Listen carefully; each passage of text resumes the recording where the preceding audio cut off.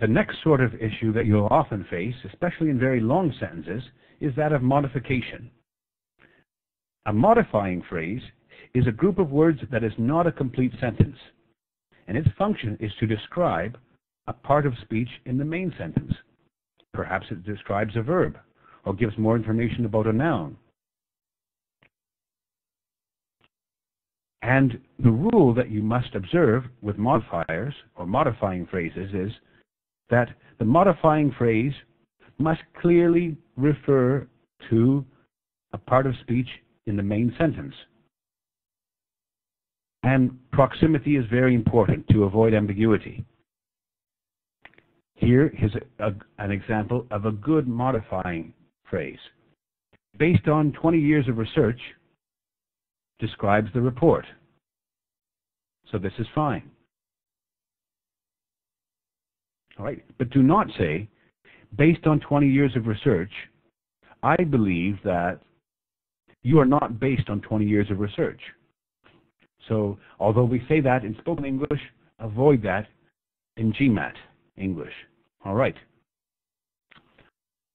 Let's have a look at some other correct modifying phrases at the beginning of a sentence. Often hunted for its fur, the mink, which is an animal, a furry animal, resembles, often hunted for its fur, clearly describes the subject, the mink. Now, modifying phrases can begin with a preposition. With 2,000 branches throughout the country, describes Citibank. Though unaware of the protocol, describes the representative. In addition to her poetry, describes Manfield's contributions. Earning less than $5 a day and forced to endure appalling working conditions, the illegal immigrants, this is a very long modifying phrase, but it works, and it describes the illegal immigrants. Now, modifying phrases can also be in different parts of the sentence, not necessarily at the beginning. Here's one that is right after a noun. She moved to a city not renowned for its cuisine. Not renowned for its cuisine refers to city. The apparently easy journey proved to be among the most demanding. Here we don't have a modifying phrase, but we have an adverb. And adverbs describe or modify verbs or adjectives. Here, the journey was apparently easy.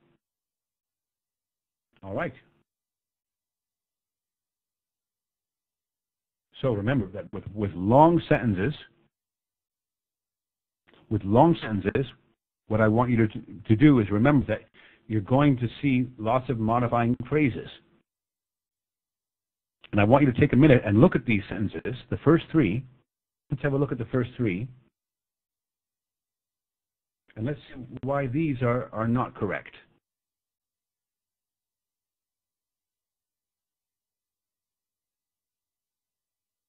So just read the three sentences and convince yourself why these are not correct.